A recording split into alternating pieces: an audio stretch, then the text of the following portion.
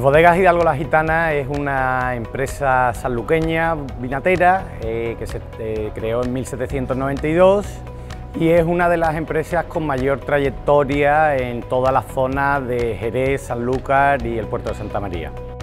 Bodegas Hidalgo La Gitana nació con vocación exportadora, es más, a principios del siglo XIX, cuando las tropas francesas nos invaden, comenzamos a comercializar vino bajo la marca Napoleón, vino destinado a las tropas francesas. También a las tropas inglesas eh, se les vendía vino bajo la marca Wellington y el primer documento en el que aparece la marca La Gitana es una factura de 1904 eh, de una venta a Nueva York.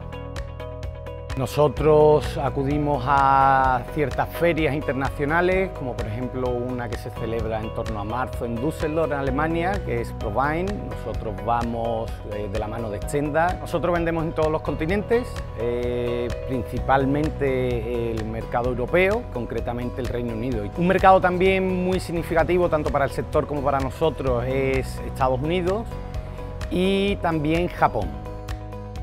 El futuro lo vemos pues con la creación de, vinos diferentes, no necesariamente acogidos a la denominación de origen manzanilla o, vino de Jerez, pero vinos blancos eh, de mucha calidad, con uva 100% palomino y que pues tienen un valor muy superior a lo, que son los vinos de Jerez y Manzanilla.